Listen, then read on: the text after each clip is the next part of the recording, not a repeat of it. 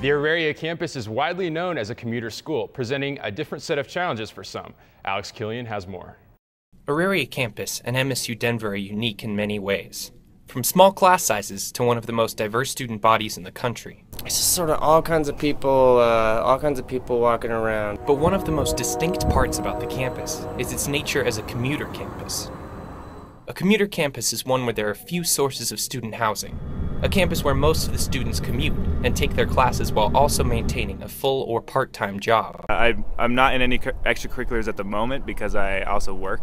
The Auraria campus is one of about a hundred commuter campuses of its kind in the U.S., and though this brings a wide range of diversity and is one of the greatest parts of going to school here, it can also be a very challenging aspect of college life.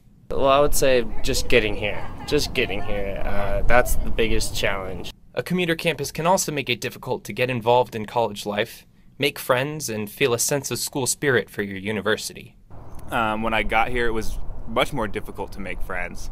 Um, mostly because there were a lot of people like me, where it was they came to show up, they showed up to go to class and then go home. I think it does prepare you more for real life. There's so much uh, choices, so much responsibility and it, actually feels good with all the responsibility uh, and getting all the stuff done. But yeah, you pretty much make all your decisions here and do your own thing, and it's a great thing.